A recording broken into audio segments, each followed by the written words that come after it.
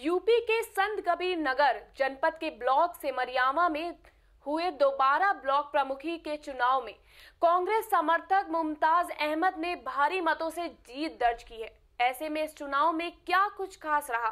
देखिए हमारी इस रिपोर्ट।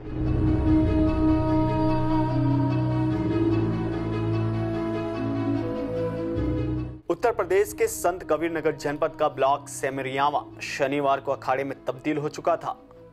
यह अखाड़ा किसी दंगल का नहीं, बल्कि चुनावी वर्चस्व का था, जिसमें प्रत्याशियों ने साम, दाम, दंड, भेद सब कुछ दाव पर लगा दिया था।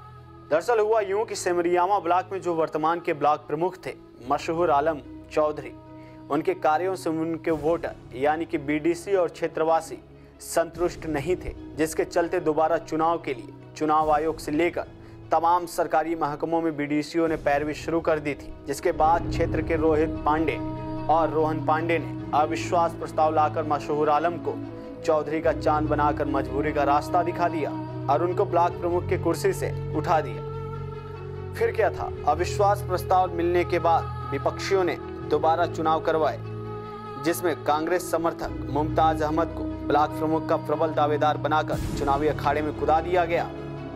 जिसके बाद इस चुनावी जंग में 121 वोट वाले बीडीसी ने अपना मत दिया, जिसमें 115 वोट पड़े। इससे 115 वोट में अकेले 100 वोट मुमताज़ अहमद को मिला।